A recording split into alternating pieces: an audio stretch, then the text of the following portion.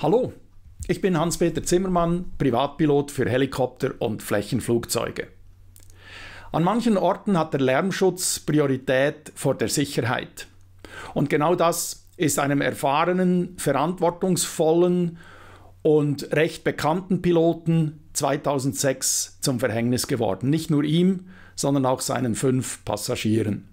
Diese Tragödie schauen wir uns gleich im Detail an aber zuerst, wie immer, unser gemeinsamer Blick aufs Leben. Ein Kommentator, ich habe ihn natürlich ausgeblendet, weil ich nicht möchte, dass er sich blamiert, der hat geschrieben, was ich da tue, das sei Narzissmus pur. Als langjähriger Trainer für Psychopathologie fühle ich mich da natürlich herausgefordert, ein bisschen aufzuklären. Was ist Narzissmus eigentlich? Wenn ich einer wäre, ein Narzisst, würde es nicht viel bringen, wenn man es mir sagt, weil Narzissten haben keine Krankheitseinsicht. Und man darf nicht vergessen, Narzissmus ist eine schwere psychiatrische Störung. Es gibt so drei Hauptkategorien bei den psychiatrischen Störungen. Neurosen sind wahrscheinlich vielen bekannt. Psychosen, eine schwere Störung mit Realitätsverlust und dann gibt es noch die Persönlichkeitsstörungen. Der Narzissmus gehört dort dazu. Das heißt, in der Kindheit oder in der Jugend ist die Entwicklung an einem bestimmten Punkt so gestört worden, dass die Persönlichkeit sich eben in diesem Teil nicht weiterentwickeln konnte. Da gibt es ganz verschiedene Persönlichkeitsstörungen, auf die will ich jetzt nicht im Detail eingehen. Die narzisstische Störung zeigt sich unter anderem darin, dass der Narzisst erwartet, dass alle für ihn da sind. Das ist für ihn absolut selbstverständlich. Aber wehe, er sollte mal was für die anderen tun. Da ist er regelrecht beleidigt. Ja, und in ganz schlimmen Fällen ist es natürlich so, dass es zur narzisstischen Kränkung kommt. Also wenn ein Narzisst von seiner Partnerin verlassen wird, kommt es nicht selten zu Stalking oder eben sogar zu Mord. Nehmen, kein Problem, geben geht gar nicht für den Narzissten und allein schon von daher falle ich mit Sicherheit nicht in die Kategorie Narzissmus. Und selbst wenn, es bringt, wie gesagt, nichts, einem Narzissten das vorzuwerfen. Wir gehen doch auch nicht zu einem ähm, physisch kranken Menschen hin und werfen ihm vor, dass er krank ist. Es ist halt eine Krankheit. Ich werfe Donald Trump zum Beispiel auch nicht vor, dass er Narzisst ist. Für mich ist es absolut klar, dass er einer ist.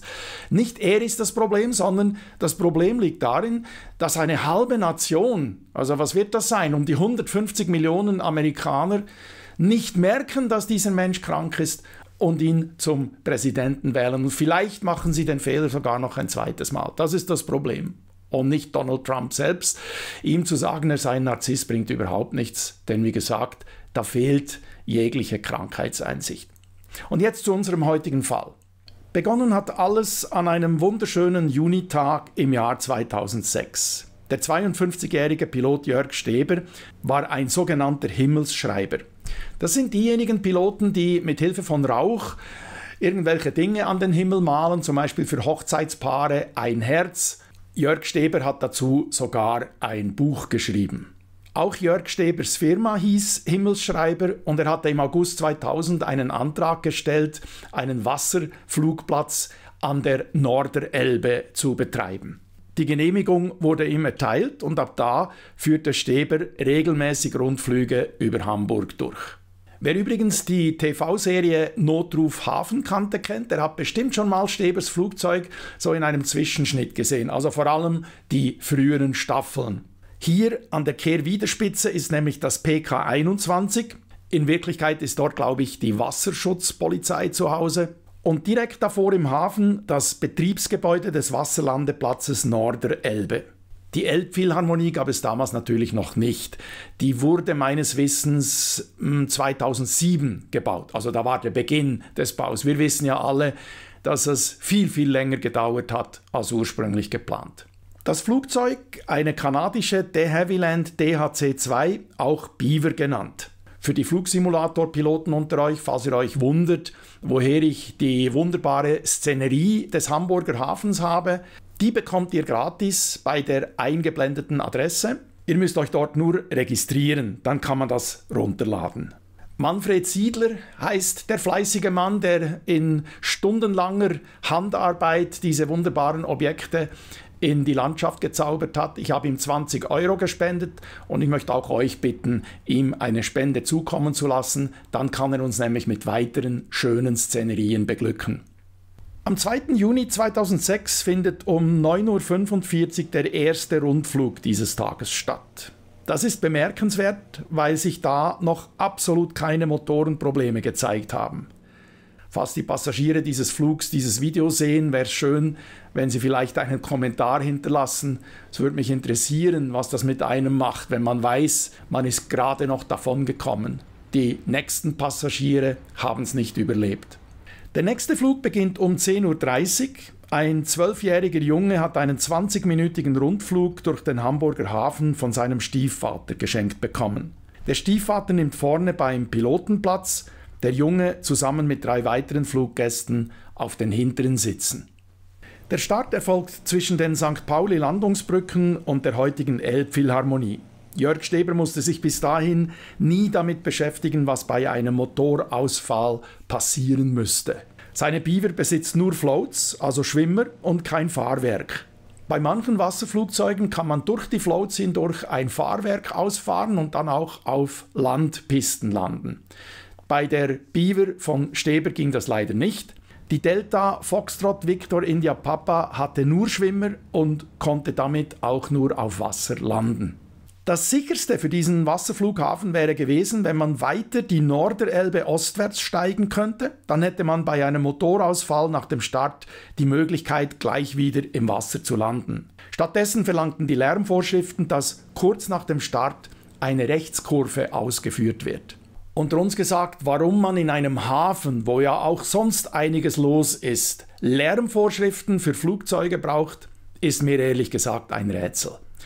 Aber vielleicht gibt es ja Insider, die uns da aufklären können, wie das genau ist.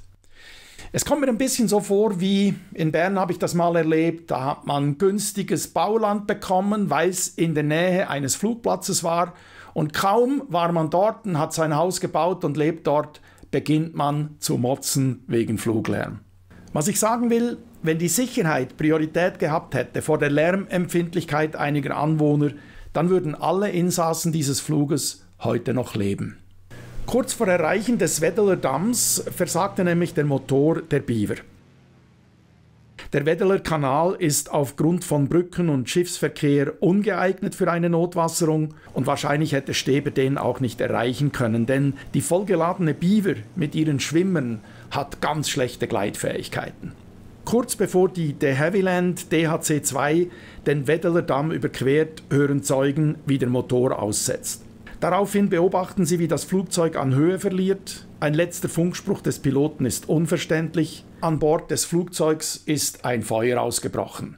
Der Pilot versucht noch, eine Notlandung auf der Gleisanlage des Hafenbahnhofs Hamburg Süd vorzunehmen. Dabei berührt die Maschine zunächst mit der rechten Tragfläche den Boden, dann reißen die Schwimmer ab und landen auf einem Waggon. Rumpf, Motor und Heckteil und beide Tragflächen stürzen auf ein Gleis und gehen in Flammen auf. Vier der sechs Insassen sind sofort tot, darunter der zwölfjährige Junge.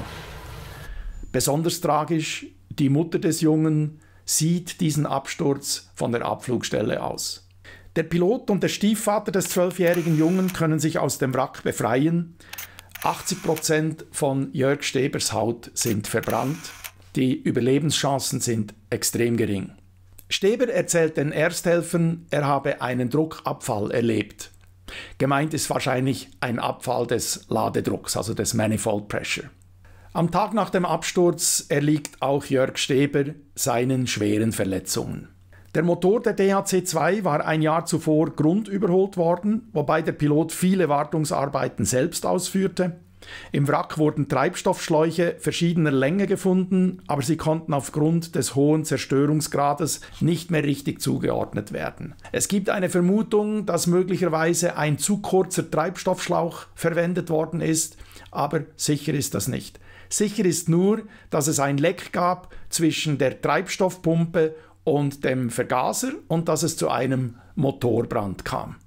Ebenso ist die Behörde der Meinung, dass Steber keine Möglichkeit gehabt habe, eine geeignete Wasserfläche zum Landen zu finden nach dem Motorausfall.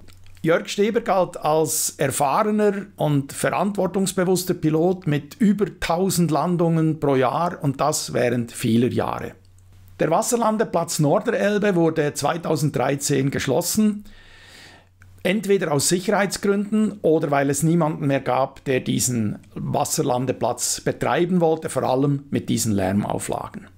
Himmelsschreiber gibt es in der Zwischenzeit wieder und sie arbeiten mit Hightech. Mit mehreren Flugzeugen, GPS und einer zentralen Steuerung ist es heute möglich, solche Botschaften an den Himmel zu schreiben. Der Schriftzug Bleibt gesund war während der Corona-Pandemie am Münchner Himmel zu sehen. Und diesen Wunsch gebe ich heute weiter an meine Community.